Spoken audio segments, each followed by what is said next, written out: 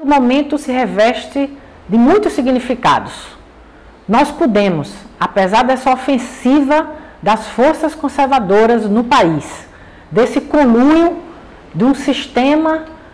que envolve parte do Poder Judiciário, setor financeiro, partidos políticos de direita,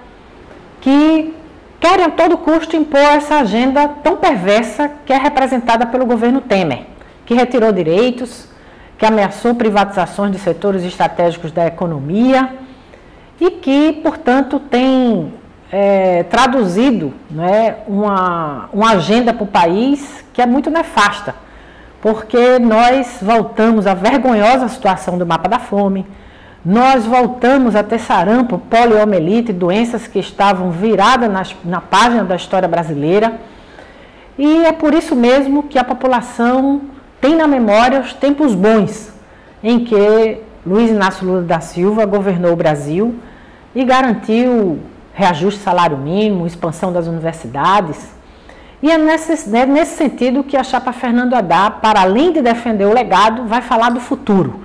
vai falar da possibilidade, da necessidade da retomada do crescimento, da afirmação da soberania nacional e de uma agenda de inclusão social que garanta o um mínimo no nosso país do estado de bem-estar.